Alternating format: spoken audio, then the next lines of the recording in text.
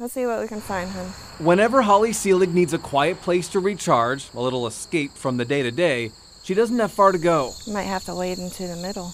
Because right in her backyard is an oasis that transforms in front of her. It's peaceful. After working all day, this is where I want to be. But this isn't just her sanctuary. Can you get it for me? It's theirs, too. Once you know what you're looking for, it's they jump out at you. Hundreds of butterflies, monarchs, in every stage of their lives growing in her garden. That is one of the eggs. In fact, so many monarchs stop in Holly's garden during their migration to Mexico every year. There you go. Her home outside Gettysburg has been designated an official monarch butterfly way station. So bring them in here.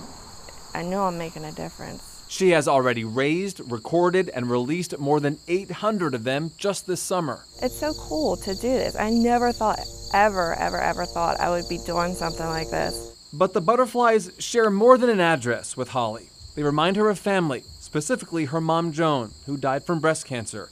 It was at her funeral three years ago when a butterfly first caught Holly's eye. I walked over to it, just not even thinking, just put my hand out and it crawled on my finger and it sat there. For the rest of the service, that butterfly greeted the guests and stayed close the entire time. It grew into this. And when Holly got home, she let her backyard fill with milkweed, the monarch caterpillar's only source of food, and watched the memories of her mom multiply. They're just, they're all over. Being out here, it's like I'm continually getting reminded that I'm not alone, that she is still with me.